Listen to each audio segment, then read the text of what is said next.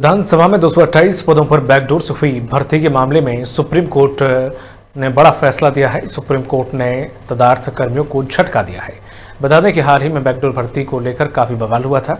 इसमें कार्रवाई करते हुए विधानसभा अध्यक्ष के द्वारा एसआईटी का गठन कर जाने के बाद इन सभी पदों को निरस्त कर दिया गया था।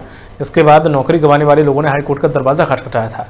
जहाँ पर हाईकोर्ट ने सिंगल बेंच ने इन नियुक्तियों के पक्ष में फैसला सुनाया, लेकिन बाद में डबल बेंच ने एक बार फिर से उन्हें निरस्त कर दिया है, जिसके बाद सुप्रीम कोर्ट में भी हाई कोर्ट के इस फैसले पर एसएलपी दाखिल की गई थी, लेकिन सुप्रीम कोर्ट ने भी तदार्थ कर्मियों को करारा झटका दिया। बता दें कि इन सभी तदार्थ कर्मियों की नियुक्ति 2016 से इक्कीस के बीच हुई थी। देहरादून से अवनीश गुप्ता की रिपोर्ट।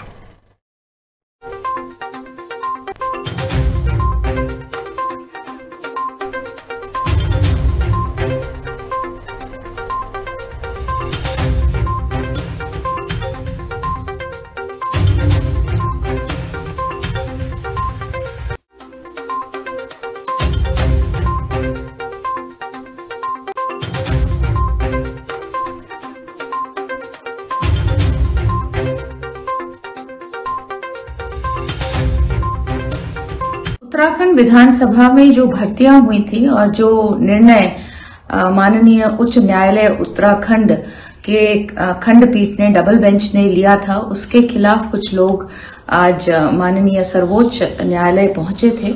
यहाँ पर एक विशेष याचिका एसएलपी लगाई गई थी और यहाँ के, यहाँ पर जो डबल बेंच था, उन्होंने उस पटिशन को खारिज किया है।